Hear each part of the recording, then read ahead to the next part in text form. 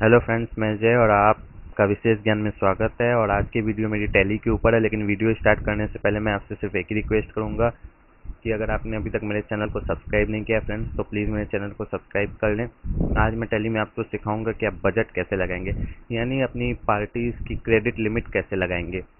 जैसे कि आप सेल करते हैं प्रोडक्ट प्रोडक्ट्स अपने, आपके डेटर्स हैं, आप उसके लिए क्रेडिट लिमिट लगाना चाहते हैं टैली में, कि इस लिमिट के ऊपर उसके पास माल नहीं जाए मतलब आपको याद रखने की ज़रूरत नहीं जैसे उनकी लिमिट पूरी होगी, उसके बाद आपको टैली स्टॉप कर देगी बिलिंग करने से। तो ये कैसे कर सकते हैं? इसका यूज़ आप इसलिए भी कर सकते हैं और एक और तरीका है कि अगर आप अपने एक्सपेंसेस यानी कि जो भी खर्चे हैं, अगर उन्हें भी आप एक तरह से लिमिट में लगाना चाहते हैं कि नहीं इससे ऊपर खर्चा हो तो मुझे एक मैसेज मिल जाए, यानी कि आपको वो एंट्री पास करने से रोकेगा तो आपको एक अंदाज मिल जाएगा कि हाँ ये खर्चा ओवर हो रहा है।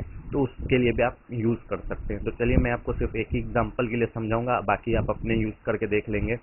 मैं आपको बताऊँगा कि आप पार्टी के ऊपर क्रेडिट लिमिट कैसे लगाएँगे। तो सबसे पहले आप गेटवे ऑफ़ टेली पे जब जाएँगे, तब एफ़ इलेवन प्रेस करेंगे फीचर्स इसमें आप चले जाएँगे इन्वेंट्री फीचर्स में।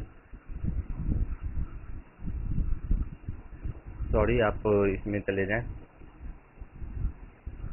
F1 यानी कि अकाउंटिंग फीचर्स में।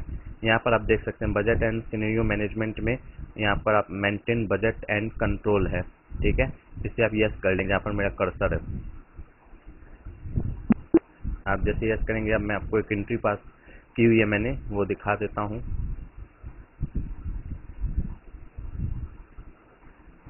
रहीम मेरा डेटर है। मैंने नाम लिखा, उसे डेटर के अंदर डाला। यहाँ पर मैंने बिल वाइज को नो रखा है, लेकिन यहाँ पर स्टेट क्रेडिट लिमिट का ये कॉलम आ जाएगा वहाँ यस करने से। मैंने यहाँ पच्चीस हज़ार लगा दिया। यानी कि पच्चीस हज़ार से जैसे उसकी बिलिंग ऊपर होगी, वो मुझे रोक देगा। चाहे वो एक बार में हो या बीस बार में हो, उससे मतलब नहीं है। वो उसमें पेमेंट करते रहने का मतलब उससे पच्चीस हज़ार से ऊपर की क्रेडिट नहीं मिलेगी। सीधी सी मतलब यही है इसकी। अब मैं एक एंट्री पास करके दिखाता हूँ। एक मैं नॉर्मल एंट्री पास करूँगा पच्चीस हज़ार से नीचे, एक ऊपर के। देखिएगा आपको उस समय कैसे वो स्टॉप करेगा। रहीम और अगर मान लीजिए आपको यहाँ रहीम है इसमें आपको वापस से इसके लेज़र में यहीं से जाना है तो उस सिचुएशन में आपके लिए शॉर्टकट की या कंट्रोल के साथ इंटर प्रेस करेंगे तो आप जा सकते हैं। यहाँ मैंने ये चुन लिया।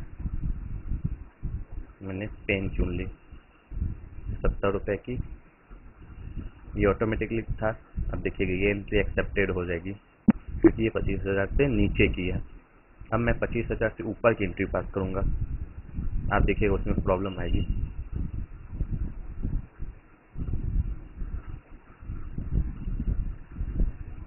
ठीक है? यहाँ पर मेरा नेगेटिव है, लेकिन मैं आपको एक एग्जांपल के लिए समझा रहा हूँ। नेगेटिव स्टॉक बता रहा है उससे मतलब नहीं, मैं यहाँ पर रेट भी उसका बढ़ा के दिखा रहा हूँ, क्योंकि मुझे आपको दिखाना है कि वो एक्सेप्ट नहीं करेगा।